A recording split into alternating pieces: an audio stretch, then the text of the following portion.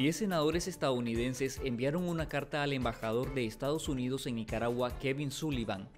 en la que solicitan aprovechar todas las herramientas diplomáticas para garantizar la seguridad de los periodistas, la sociedad civil y los líderes políticos en Nicaragua. En la misma misiva fechada este 15 de diciembre y firmada por senadores demócratas y republicanos, los legisladores expresan su preocupación por unas recientes acciones del régimen de Ortega para censurar a la prensa independiente y restringir las actividades de dirigentes opositores frente a las futuras elecciones de 2021. Para los legisladores estadounidenses, la aprobación de la Ley de Regulación de Agentes Extranjeros y la Ley Especial de Delitos Cibernéticos representa un claro intento de reprimir a los opositores políticos y restringir la movilización ciudadana.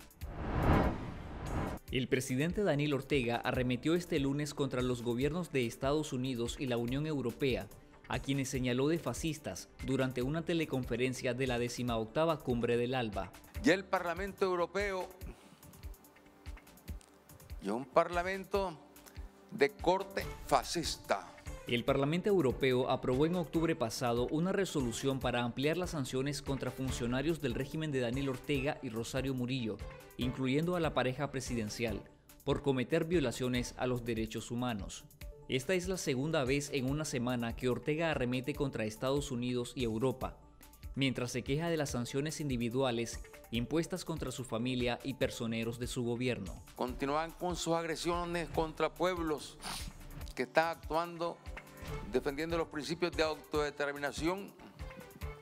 de soberanía. El pasado 11 de diciembre, Ortega acusó sin pruebas al gobierno norteamericano de conspirar con los opositores nicaragüenses para generar un estallido social similar al de abril de 2018 y colocar a un presidente al servicio de ese país en las elecciones de 2021.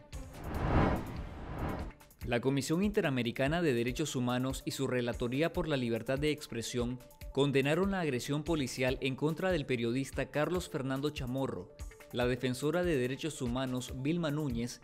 y reporteros que estaban presentes en una conferencia de prensa en demanda del cese de la ocupación oficial ilegal de las oficinas de Confidencial y esta semana. La CIDH exhortó al régimen de Ortega garantizar el ejercicio de la libertad de expresión, que durante más de dos años ha impuesto una política de censura y asedio contra los medios independientes de difusión tradicional en el país.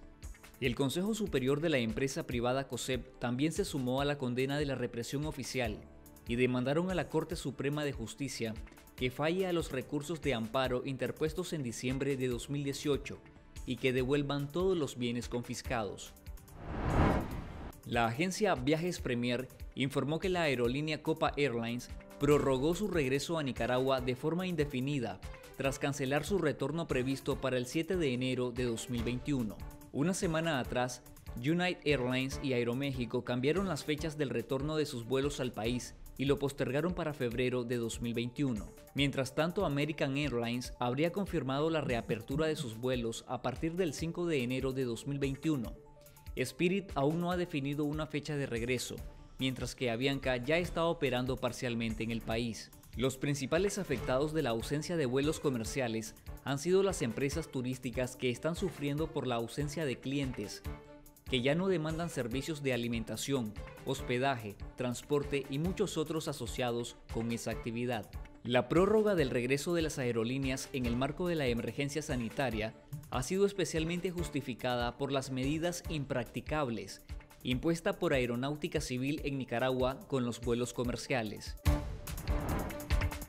En nuestro canal de YouTube te invitamos a ver el último episodio de la sátira de las noticias con Juan Carlos Sampié, Grisby en abril de 2018 y Ortega el huracán de la paz en la última mirada news.